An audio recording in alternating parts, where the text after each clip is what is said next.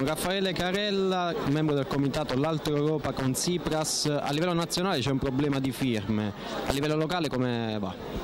Beh, il problema partenza, eh, a livello nazionale era in partenza, stiamo recuperando eh, soprattutto in Val d'Aosta dove comunque abbiamo sfondato le 2300-2400 firme, sappiamo bene che per ogni regione il risultato, cioè l'obiettivo sono 3000 firme, mettendo che la Val d'Aosta era il punto critico possiamo ritenerci soddisfatti.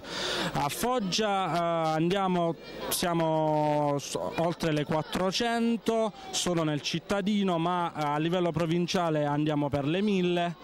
eh, altre 500 fino alle altre 1000 e possiamo ritenerci diciamo, a posto con la coscienza. Stiamo parlando delle elezioni europee del 25 maggio, ma cos'è quest'altra Europa con Tsipras? 25 e 26 maggio, l'Alta Europa con Tsipras è eh, una lista a sostegno di Tsipras eh, candidato eh, alle europee, eh, appunto 25-26 maggio, è una lista eh, aperta eh, che ha all'interno personalità di spicco, qualche membro del, di partiti, eh, ma soprattutto è l'unica lista di sinistra che si presenta a queste europee. Siamo in campo per prendere le firme perché non essendo un partito ha bisogno di 150.000 firme per potersi presentare nella competizione elettorale, quindi per adesso può firmare chiunque come ha dimostrato per esempio Rita Borsellino che è parlamentare, europarlamentare eh, del PD che ha invitato a firmare per la lista Tsipras.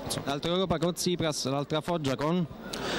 L'altra Foggia con eh, Foggia, nel senso che eh,